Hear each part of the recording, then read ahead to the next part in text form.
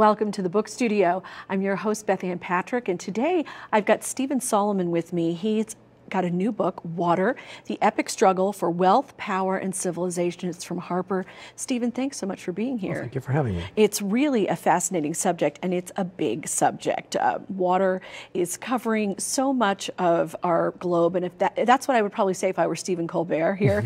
you know, gosh, we've got so much of it. What's the problem, Steve? That's exactly right. so, well, the problem is that, that a lot of it, uh, most of it is not fresh water to start with. Right. And of the fresh water, most of it is locked away in glaciers or, or deep underground or falls in places that we can't uh, really get at it in the remote mm -hmm. regions.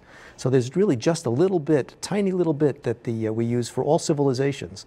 And largely that's the amount that has been recycled through the, uh, the rain and the, and the evaporation process that refills our rivers and our lakes and our shallow groundwater. Well, one of the things in your book that fascinated me that it, though is that even though our problem right now is amount of water, other civilizations in other eras have had water problems, water struggles, even when there was more fresh water to be had. So let's talk about a couple of those and why they're important to learn from.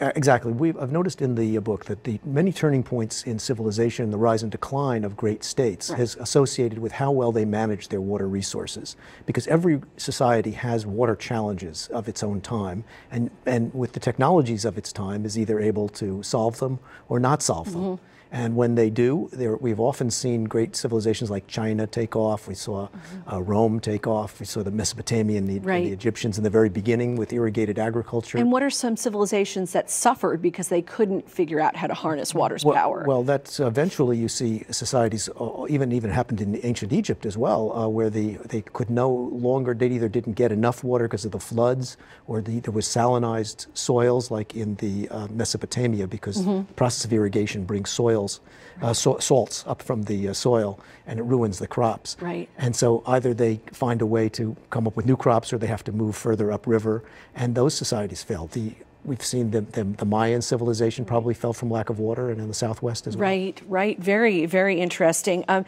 and of course, one of our problems con in contemporary society is water and climate change. But there's also a lot of socioeconomic implications to lack of water. And that's something that you explore in this book. And I want to talk about those, the hot spots, if you will. Sure. One of them is Pakistan. You, you discuss that. It's become a real problem, not just because of the density of population, but also because of climate change and glaciers, and also because of access to water. So let's talk about Pakistan sure. for a moment. Pakistan's a great example. Um, what you have in Pakistan is about a population that's growing about 30 million, uh, 30% in the next uh, 15 years. And it's already a very heavily populated country and very heavily irrigated. Mm -hmm. It depends on almost entirely on the Indus River. 50% mm -hmm. of its waters, though, come from the glaciers that are in the Himalayas. And right now, those glaciers are melting under the, under the climate change uh, mm-hmm. problems. Mm -hmm. So they're facing a, a sort of a scissor effect where population pressures are growing and yet they're not going to have enough water to grow the uh, crops that they're going to need uh, to feed that population. Uh, they're a nuclear armed state. They're already in a fractious uh, political right. condition. In fact, we're frankly we're fighting a war in that part of the world for national security reasons, based largely on on that security. The United States uh, recently uh, had a package of 7.5 billion dollars of aid that we're giving to Pakistan. Uh, the largest portion of it um, is is targeted on rebuilding their, uh, their irrigation structures, Very their storages, and their uh, and their hydropower dams. Well, because of course, if access to water is cut off, there are so many other problems that can arise, and you talk about this as well. There are health problems uh, that can happen, um, societal unrest. You know, so many things. And one great example of that that we want to talk about is um, freshwater shortages in California. I should, shouldn't say it's a great example. It's actually a very sad example, but California is dealing with that. Let's talk about some of the ways, the good things that California sure. is doing to keep, keep fresh water as something that everyone will have access to. Necessity is the mother of invention, as right. we know, and there have been sometimes some great breakthroughs made by societies that are facing the worst crises. Yeah. Crises.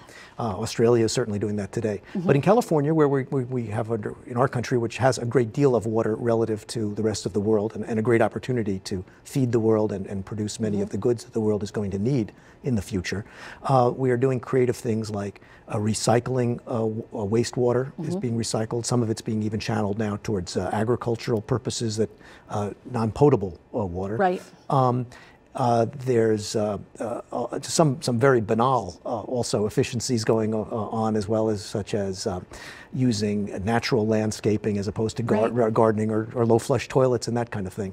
Um, but but there are many technologies that are available today without any great new technological breakthrough mm-hmm. that can really extend the existing supplies uh, to much more productive, make more productive use of the existing supplies. Well, one of the things you say that's so simple is that in households, just flush less.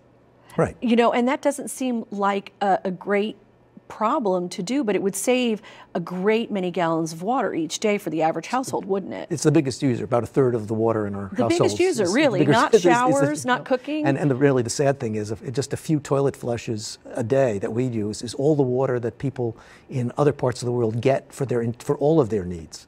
Uh, and because there are about a billion people on this planet mm-hmm. that uh, don't have access to enough uh, clean drinking water each day and have to walk two to three hours a day just to, to be able to get that. There's two and a half right. billion without sanitary services, and that's one of the reasons we have uh, World World Water Day. Which and I imagine that you and Water, the book, are going to be involved in some activities. Yes, March 22nd is, is World Water Day, and it was uh, it was passed by the uh, after the Rio Summit in Earth Summit mm-hmm. in 1992 and it's a little sort of like consider it the little sister of, of Earth Day. But on right. the other hand, the Earth is three quarters water, so maybe uh, Earth Day should be uh, yeah, maybe they should Day. meet in the middle.